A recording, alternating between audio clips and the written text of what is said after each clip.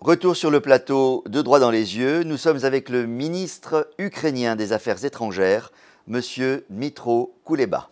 Mais ça leur sera peut-être un peu difficile euh, d'embrasser votre cause sans se fâcher avec la Russie. C'est délicat. У мене насправді немає жодної образи. Vous savez, je ne suis pas fâché, franchement. Je suis pas trop fâché enfin, envers la Russie. Euh, la Russie, c'est un pays ennemi. C'est un pays qui, euh, qui a déclenché la guerre. Et moi, en tant que ministre, je fais tout mon possible pour qu'on puisse enfin, résister voilà, à cet ennemi par tous les moyens possibles. Donc là, il n'y a pas de place pour les émotions, je vous dis très franchement. Il y a un élément très important que je pense bien nos amis africains euh, sont obligés, enfin, de comprendre.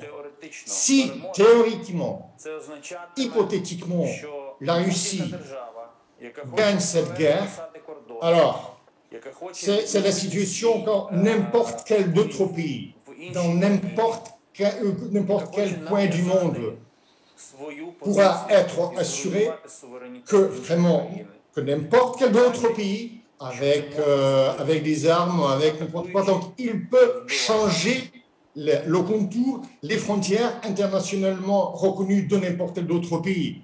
Et bien sûr, donc, on peut vraiment se sur la souveraineté, sur l'intégrité territoriale, on peut faire n'importe quoi. Voilà, ce sera la situation. Et moi, je suis fort, euh, convaincu que vraiment les pays africains doivent soutenir l'Ukraine s'ils ne veulent pas être oppressés, s'ils ne veulent pas être enfin, des témoins de la situation des, des guerres qui, pour, qui pourront avoir éventuellement lieu sur le continent africain. Ouais. Alors il y a un pays qui semble avoir euh, compris votre position, puisqu'il ne s'est pas abstenu lors du vote de la résolution de l'ONU contre l'attaque russe contre l'Ukraine, c'est la Côte d'Ivoire. Et comme vous avez annoncé que vous allez venir dans ce pays, si je vous demande quelles sont vos relations avec les dirigeants ivoiriens et que vous disent-ils, je suppose que vous me direz qu'elles sont excellentes. Я хочу насамперед подякувати Кот d'Ivoire tout d'abord à remercier la Côte d'Ivoire d'avoir soutenu euh, l'Ukraine. Et c'est un pays, c'est un pays qui comprend parfaitement bien, il est conscient du fait ce qui représente en fait cette guerre. Et je pense bien que c'est la Côte d'Ivoire qui sont parmi les pays qui soutient et soutiendra l'Ukraine dans notre lutte contre l'agresseur russe.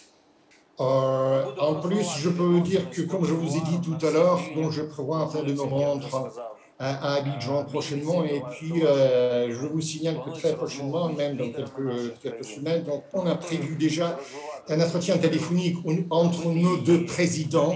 Certainement, nous, en Ukraine, nous sommes très déterminés à approfondir, à développer nos relations euh, bilatérales à tous les niveaux, au niveau politique, au niveau commercial, au niveau euh, économique, et nous allons faire tout de notre part pour que ce puisse être vraiment réussi. Voilà une deuxième annonce euh, intéressante, puisque vous venez de, dire que euh, les deux présidents ukrainiens et ivoiriens vont prochainement se parler. Monsieur le ministre, sur le plan militaire, c'est difficile ces derniers temps dans le sud-est de votre pays, dans la région du Donbass. Euh, les troupes russes progressent. Et euh, je voulais vous demander si votre objectif de retrouver l'intégrité totale de euh, votre territoire national, est-ce qu'il est toujours à l'ordre du jour ou bien est-ce que vous vous préparez à des sacrifices territoriaux douloureux Est-ce que cette guerre, vous pouvez militairement la gagner Війна складається з багатьох битв. Vous savez, la guerre se compose toujours traditionnellement enfin, de, de, pas mal, euh, de pas mal de combats. Bien sûr, certains combats sont gagnés par les Russes, mais certainement également, et parallèlement, voilà, certains combats sont gagnés par les Ukrainiens. Bon, une fois que bon, les Russes euh, avancent, disons, à l'est de l'Ukraine, nous, de notre part, nous avons pas mal de victoires au sud euh, de notre pays. Depuis le début de la guerre, je le disais à maintes reprises, nous avons été toujours ouverts et prêts à négocier, à nous mettre à la table et négocier enfin la fin de cette guerre. Mais à condition que les deux parties vraiment soit égale. Égale, je souligne. Mais pas dans le cas avec, la Russie qui met sur la table une sorte d'ultimatum et exige de les, de, de les effectuer. Ce n'est pas acceptable pour nous. En ce qui concerne votre question en matière de sacrifice territorial enfin, ukrainien, donc euh, je vais vous répondre d'une manière su euh, suivante. C'est pas l'Ukraine, c'est la Russie qui a attaqué l'Ukraine. Et nous, je vous assure, nous allons combattre et certainement, nous n'allons pas, pas donner même un centimètre de notre territoire à l'ennemi. Nous allons garder, nous allons réinstaller notre intégrité territoriale. Et nous allons nous battre pour chaque morceau de notre terrain. Le président russe Vladimir Poutine a déclaré hier soir, veille de notre euh, enregistrement, la Russie n'a pas encore commencé les choses sérieuses en Ukraine. Est-ce que vous le prenez comme une provocation ou bien comme euh, une phrase lourde de menace?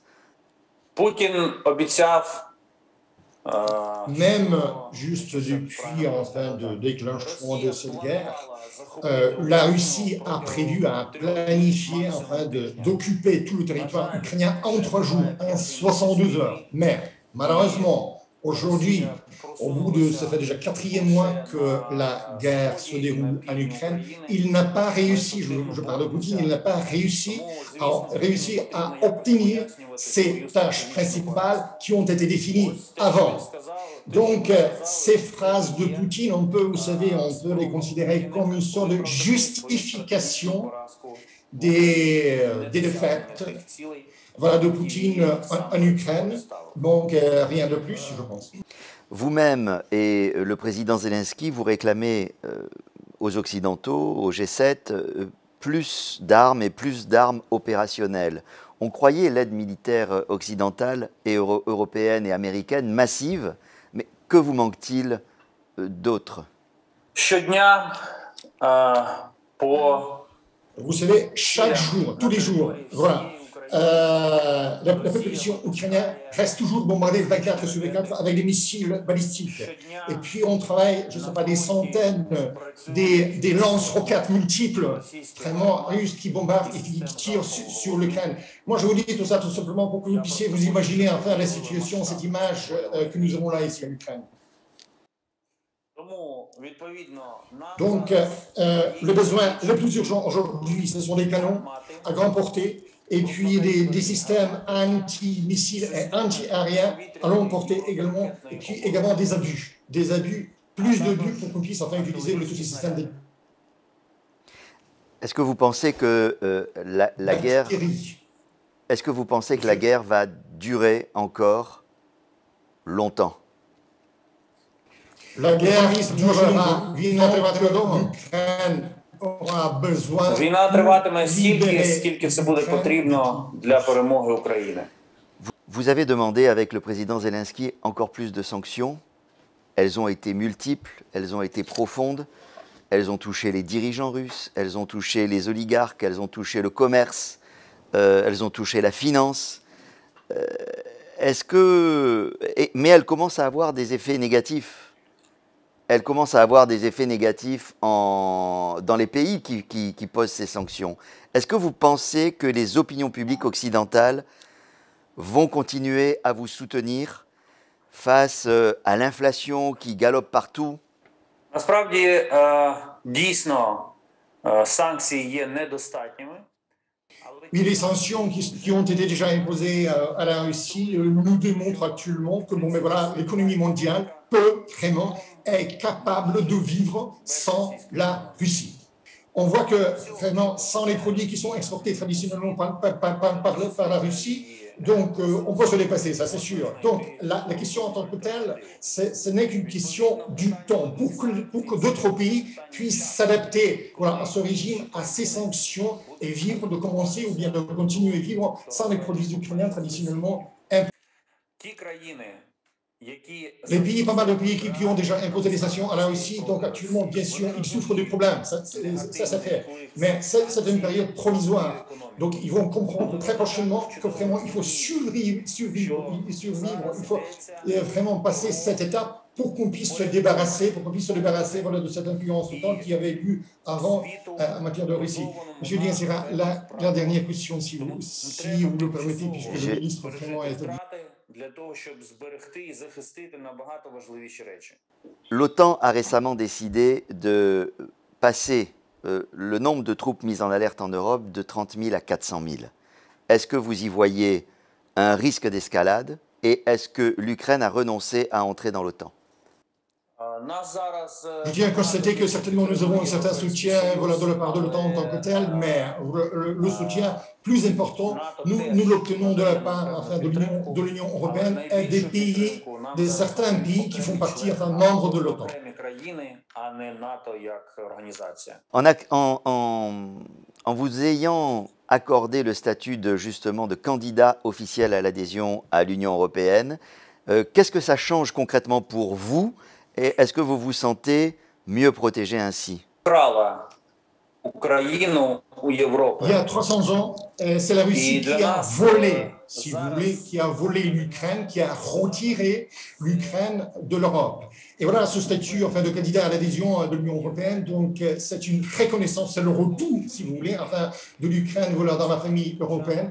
Et je suis certain que voilà, euh, l'appartenance de l'Ukraine à l'Union européenne, certainement, fera l'Union même, l'Union européenne, plus forte, plus consolidée et plus, plus importante. Voilà, là, ce sont des valeurs qui nous, qui nous partagions avant et que nous allons partager, je suis certain, voilà, dans, notre avenir. Merci, Monsieur le Ministre. Nous sommes au terme de cet entretien. Je tiens à vous remercier euh, d'avoir pris tout ce temps d'explication, mais qui était important pour euh, nos téléspectateurs euh, africains. Je vous souhaite bon courage et vous dis à bientôt à Abidjan. Donc, merci à vous.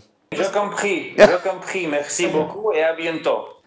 Je remercie encore euh, l'ambassadeur euh, Pivovarov d'avoir assuré la traduction de cet euh, entretien.